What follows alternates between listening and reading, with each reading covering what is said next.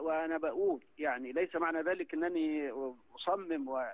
ولكننا س... سنراجع الأمر بناء على قول علماء في مثل هذا الأمر. سنراجع الأمر. لا شك في ذلك. نحن لسنا معصومين كما نقول. لا لا اسمح لي اسمح لي دكتور وحدنا. اسمح لي دكتور بعد إذنك أستوقفك عند هذه الجملة. ستراجعون إجازة ترند في المجمع؟ نعم سنراجع. هذا يعني إنه إذا ظهر لكم أثناء المراجعة أن هناك بديل عربي يمكن أن يستخدم ستعلنون التراجع عن إجازة ترند؟ نفعل ذلك. والله أشكرك على هذه إلى والله هذا يعني. خبر جميل جدا.